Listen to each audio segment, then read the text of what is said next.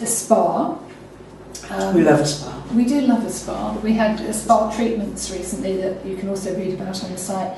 Um, a few weeks ago, I think you told me about this, that Tatler were doing Yeah. a voucher. You could get a £20 voucher with their latest issue.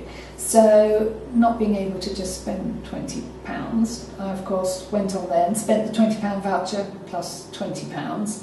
But I bought two samples of the tinted moisturiser because as we're going into summer, I, I want to move away from foundation, have something a bit lighter, and especially when I'm going away, I'm, I really want to protect my skin with an SPF. Yeah. But I don't want heavy makeup, I want something that's quite light and sheer. So I tried a sample of ESPA, uh, their naturally radiant tinted moisturiser, and the good thing was you got two colours in the sample, so you could actually really tell which was right for your skin. So I bought, then went on to buy the almond. So this has skincare benefits as well. It's got a lot of skincare benefits as as well as um, an FPF, S, SPF even.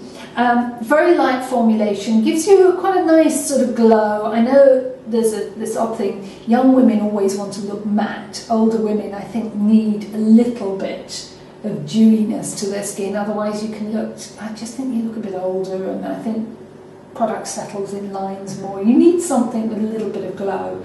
And this I've found wears well, can put it on, it lasts all day, skin feels great when you take it off.